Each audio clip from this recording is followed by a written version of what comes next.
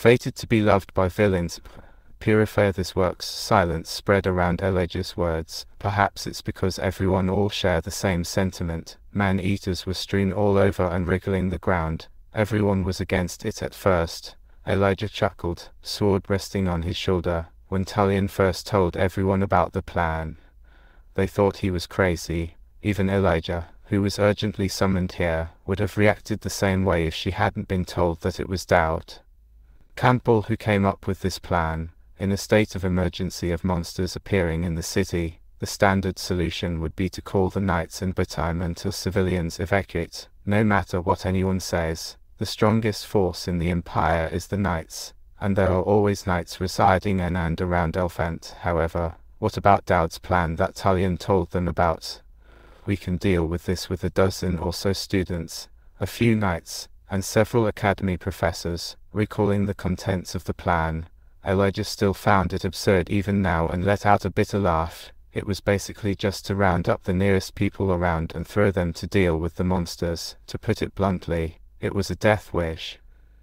It had been quite some time since demonic power manifested, and man-eaters were classified as enemies of humanity. Even if their intelligence had deteriorated, they possessed simple but brutal combat capabilities that even warriors find difficult to deal with. Therefore, dealing with man-eaters is fundamentally based on the premise that more humans will confront fewer man-eaters. So, the fact that less than humans had unilaterally suppressed hundreds of man-eaters was almost miraculous. The motivation behind the plan was even more absurd. There would be too many casualties if civilians are evacuated while waiting for the knights to be dispatched. Casualties inevitably occur in the process, however, if they just subdue all the man-eaters before that, they could eliminate such risk, truly a man with great foresight.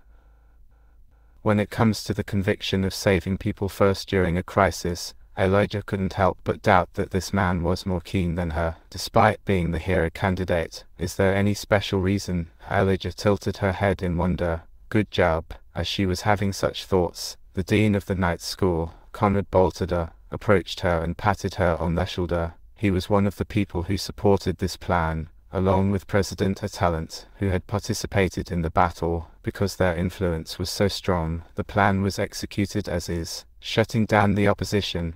I'm relieved that both the Dean and the President are here. If even one of you wasn't such an achievement might not have been possible, it really was. No, to be exact, if even one human here was missing, this achievement would have been impossible. It would have been impossible if even one is missing. Conrad's eyes narrowed. Yes, I share the same sentiment. Do you know why me and the President happened to be around here? Yes, she recommended that we eat here. Elijah frowned. Is that so? She already booked the seats so I have no reason to refuse. But then, coincidentally, this happened. A hypothesis started forming in Elijah's head, and as Conrad continued, the more it became concrete. And that guy over there, he's a student from the Monster Research Department. Conrad pointed to Ivan Kramer, a sophomore in the Monster Research Department. Elijah remembers this face well, because he was the facilitator of the mock battle at the orientation that she did with Dowd. Dowd had told Talion to find this student as well. We probably wouldn't have been able to achieve this result without him, definitely. Apart from their brutish fighting ability, monsters also have a variety of strange and bizarre traits. Even for a knight whose main profession was fighting against them, it's impossible to memorize all of their characteristics, unless one is geek who specialize in studying such things. If that student named Ivan hadn't provided them the man-eater's weaknesses, they wouldn't have been able to end the battle so smoothly. I heard that he was asked to come to the festival. He couldn't refuse because it was from a benefactor's request. A benefactor, the Monster Research Department is the least popular department among the night school. We were considering closing it by the end of this year. But when I coincidentally checked the mock battle stage, I found capable people, so I revoked that decision.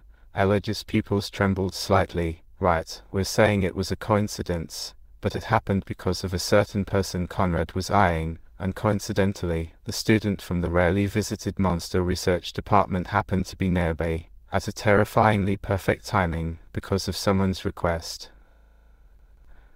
Then it became clear, The students affiliated with the House of Purification Foundation, who participated in this battle, were also said to have not mutated into monsters because Dowd had done something. The knights who were dispatched to this scene were also people that Dowd had called upon beforehand after requesting it from the president. Hey, when viewed separately, it's a series of completely unrelated coincidences, but there is one focal point that connects all of these coincidences. Uhdian, and has that person been preparing for this a long time ago? Conrad laughed instead of answering all the actions taken up until now, the people that Dowd has met, and the resulting outcomes all point to this situation. Dowd Campbell has been designing a response to an unnoticed threat since the beginning. Everyone set in their positions. From the beginning, that person had expected that something like this would happen and prepared for it meticulously. It's impossible if even one person is missing. It's a tightly knit plan from the beginning to end. Elijah said disheartened. What kind of person is he, really? I don't know. In the first place, it could really be just a series of coincidences, Conrad replied while scratching his head. But if that's really the case, then I feel like there shouldn't have been one more thing. Yes, have you seen Tullin during the battle? That's true. If he was there, he would have undoubtedly been a great asset, but his absence was puzzling. What do you think he is doing right now? Elijah's expression hardened. You think he's planning more? Her boisterous laughter was what she got instead of an answer. It had a carefree tone that didn't require any further questioning as to what it meant. Seriously, what kind of person is he? Elijah sighed and tilted his head back to relieve the fatigue from the battle. And suddenly, her entire field of vision was covered in grey, like a smoke that spewed out from somewhere. It rapidly expanded, it endlessly covered the sky, space, and eroded everything in its path, and then, everything stopped.